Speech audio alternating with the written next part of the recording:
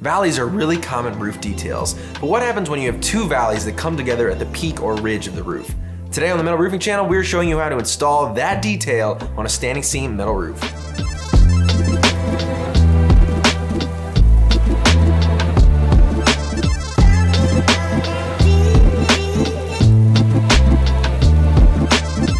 What's up guys, welcome to the Metal Roofing channel. I'm Thad Barnett. Make sure you subscribe if you're new. We release metal roofing and metal construction content every Monday and Wednesday. Today we are continuing our standing seam metal roof installation series on Adam Mazzella's house and we are talking about what happens when you have two valleys that come together at the peak or ridge of the roof. On Adam's project, the garage comes into the main house section, creating two valleys, almost like a giant dormer, and we're gonna handle this very similarly. Today we have Matt Lane from Metal Construction Solutions and Installations back with us, and he's going to be explaining this detail from start to finish. So let's go over to him and check it out. Well, we haven't peeled our valley yet, as you can see, because we're going to do some work on it. We've got our chalk line coming up that we're lining up with, and now we're just going to trace out our valley here on the back side so we can get a pretty close cut to where this is going to end up.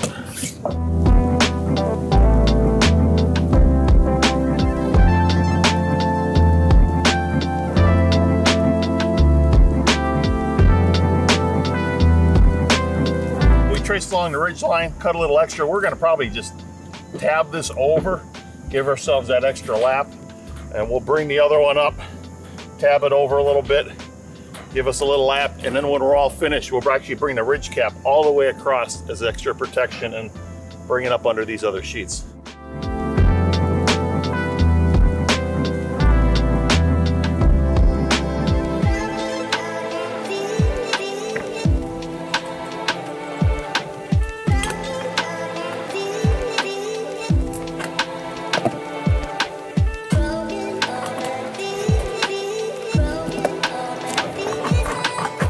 Yeah, we don't want to be uh, working this while this piece is in the valley down here and uh, scratching this other valley up, so keep it up a little high.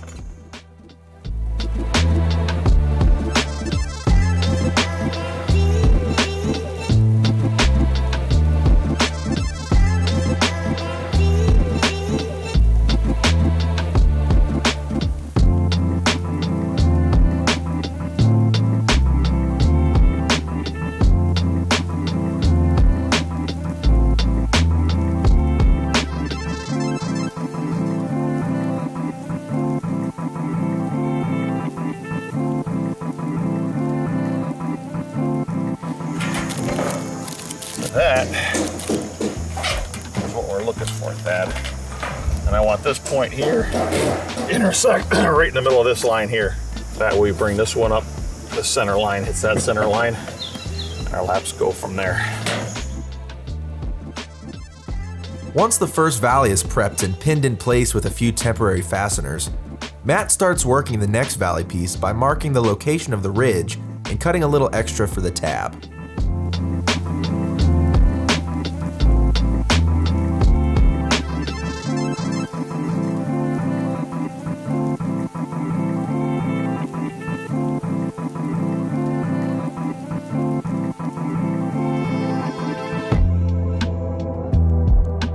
This I'm gonna put a tab on this to overlap, just extra security.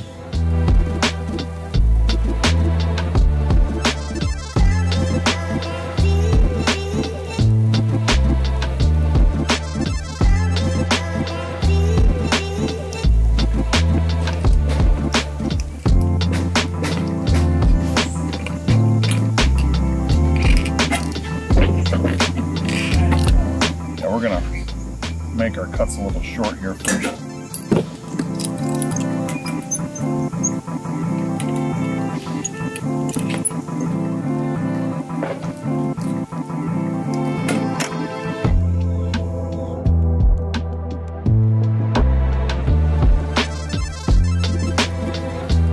We've we've fit our valley, we've cut it back in. We actually have this tabbed underneath, and then we have it tabbed over for watershed. Same thing here. This is tabbed underneath. We'll caulk in here, fill that in behind, set it back in, seal in here and set this back over. And that would be your complete top to your valley. Uh, we'll run our sheets up, tie them in with our cleats, run our sheets in here, and then we'll carry our ridge cap across this underneath the sheets just to protect this point because this is one of your riskier points on your roof and you really want to protect it. I'm gonna run a double course of sealant under the valley.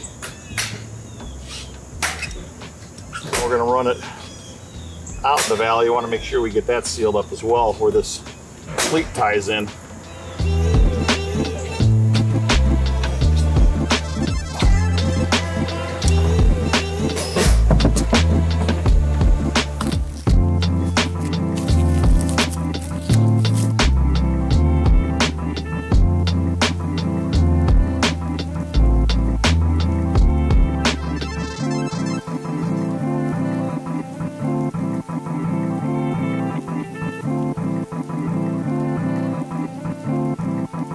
With the valley set in place, Matt can remove the tack screws and prepare the laps with caulk. When we go to do these, really want to fill the back of this with sealant. Want to back caulk some of this stuff. That way when we set it in, we know, especially of these corners, here, here, and here, are gonna have sealant, you know, by backing them up.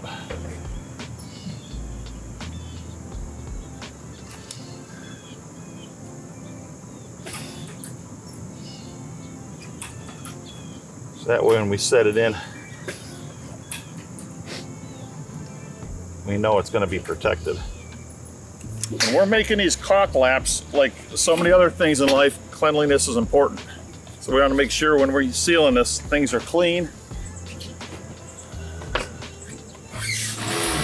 So by caulking the back first, when we set this in, we know that these points are all sealed under here. And when we press that down, you know, that's caulking's gonna seal even tighter.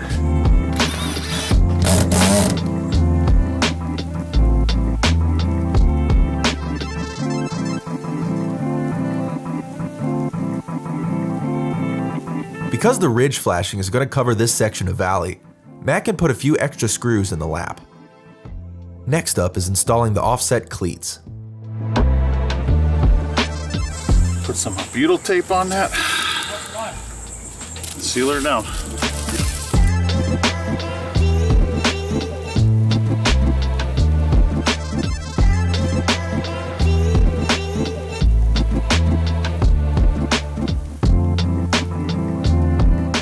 Just doing some maintenance on the valley, keep it clean.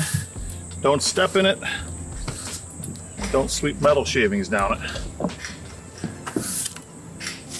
The valley detail is finished by running a mini roll of ice and water shield to cover the fasteners.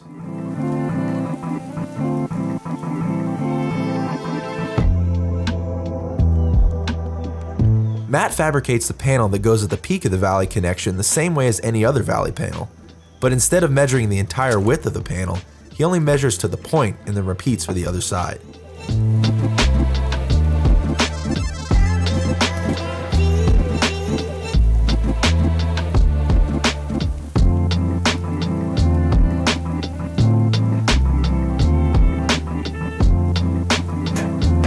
A standard 1 inch hem is used on this panel.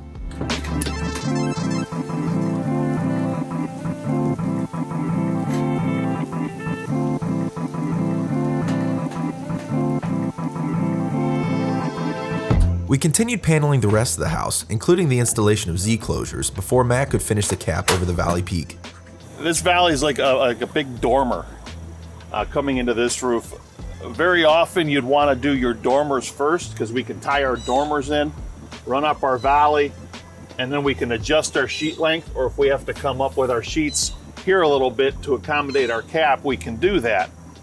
Um, what we're gonna do is same thing at the other ends. I'm gonna run a cap flashing across here and then up underneath these sheets.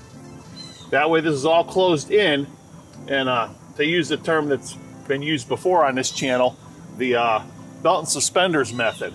We've done a good job of making sure we're sealed in here. Everything's been back caulked, everything's ice and water shielded. And now we're gonna run our cap up under here so our water is deflected once again. So this, this detail, you know, highly at risk of leaking, we're gonna protect it as much as we can. But like I said, you'd want to typically do this first. This aspect, we chose to do this roof first, mainly because the amount of traffic we would have to put in this area.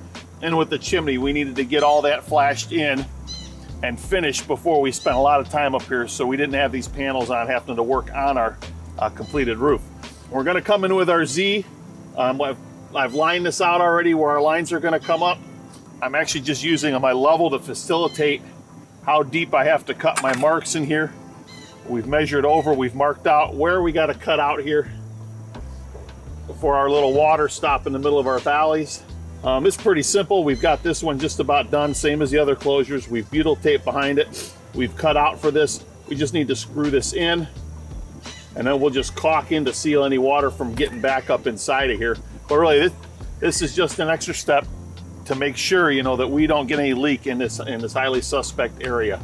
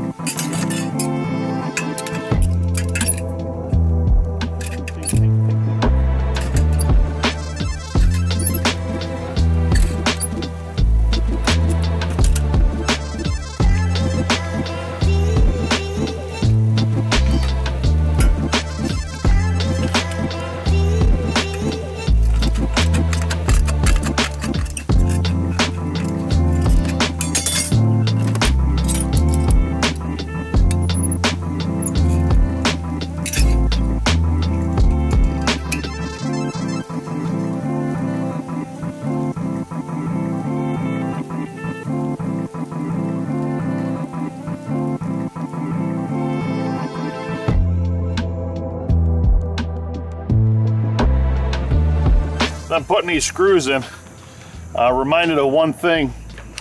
Your uh, Z closures at the, top, the tops of your sheets. With Sheffield, typically it's a five screws across the top with their 18 inch panel, but you'd want to check uh, with your manufacturer and see what they require for this detail, for what it's going to take, what size screws and your fastening pattern in this closure. We've uh, set our cap here, made sure our closures were in line, uh, we're just going to make sure we're going to transfer these measurements here across so we can cut this out. We're going to tabbing this up with about an inch and a half, two inch tab. And up, up, coming up underneath here. We just want to make sure our angles are right. So we've got this sitting where we need it to be and we're just transferring these measurements.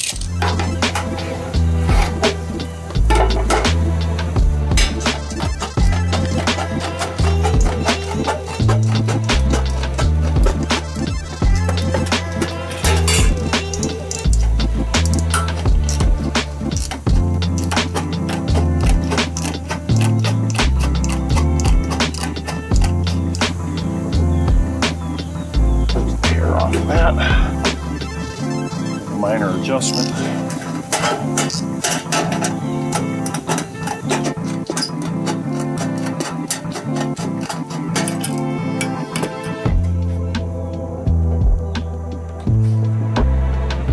That essentially is what we're looking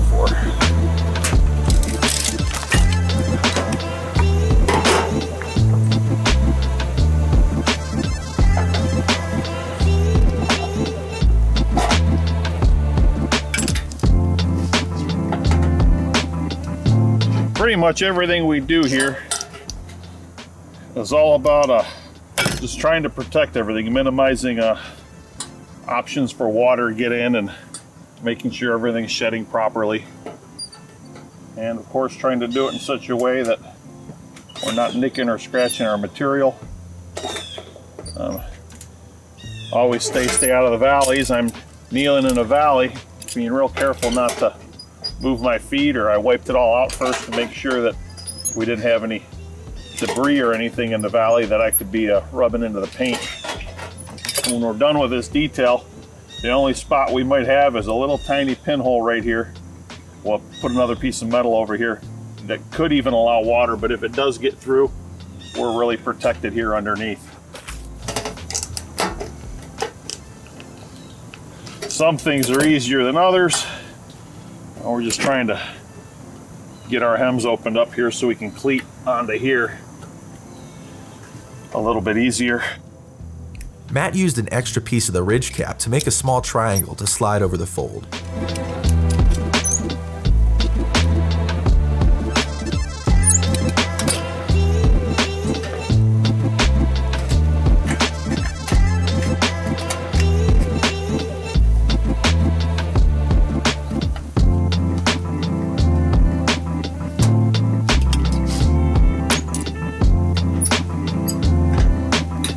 All right, belts and suspenders. Uh, caulked everything in and we've put some extra caulk up here. We've put caulk in the back here so as we slide that in, you know, it, it's the back caulking. We're pushing that in. Everything from the back side is going to be sealed on this.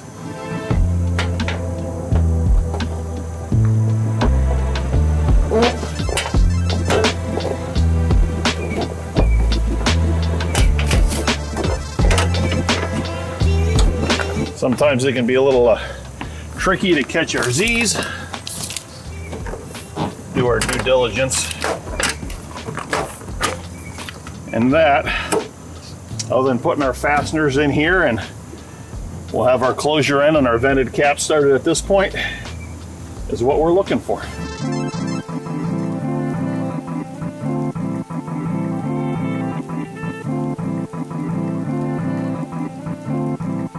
Don't forget, always follow your manufacturer's detail requirements when it comes to clip spacing, fastener count, things like that. that. That's really important. Thanks again to Matt Lane from Metal Construction Solutions and Installations. His link is in the description down below. Make sure you subscribe here to the Metal Roofing channel for more content just like this. Comment down below with any questions that you may have. And as always, I'm Thad Barnett, and we will catch you next time.